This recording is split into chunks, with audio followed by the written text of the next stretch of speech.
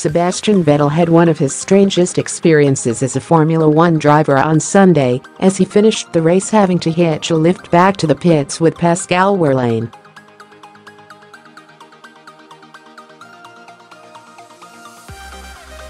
The German was unable to drive there himself after the rear left wheel of his Ferrari was all but snapped off, twisted upwards at a right angle following a bizarre collision with Lance Stroll.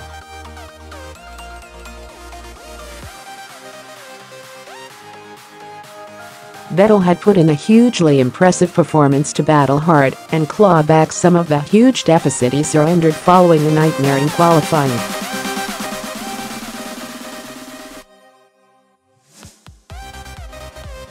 The Sky Sports cameras managed to pick up some of the incident, with a view showing Vettel's onboard camera beginning to reverberate heavily.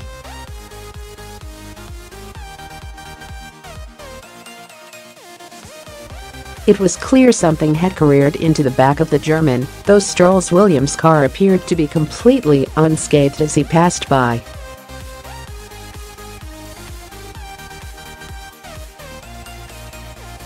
Is that possible?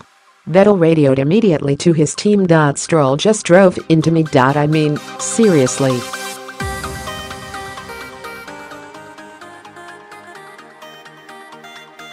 Vettel tried to drive on a little and maneuver out of the way of other finishing competitors, but it soon became clear his vehicle was completely totaled.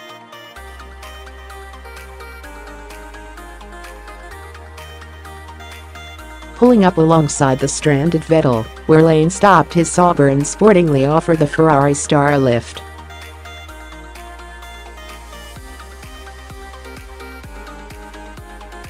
Vettel happily obliged, sitting atop his counterpart's vehicle and hitching a lift back to the pits, much to the delight of the watching Malaysian audience.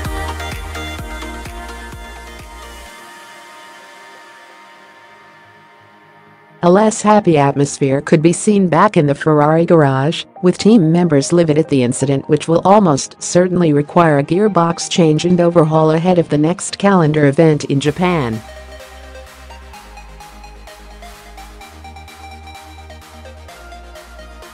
I went on the outside to pick up rubber and I think Lance wasn't looking and wanted to do the same, but I was already there, Vettel told Sky Sports in the aftermath.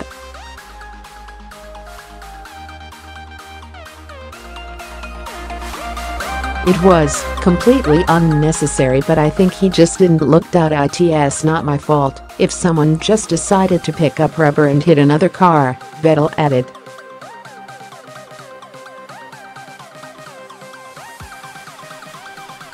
Giving his own version of events, Stroll said, I was driving very slowly back into the pit lane.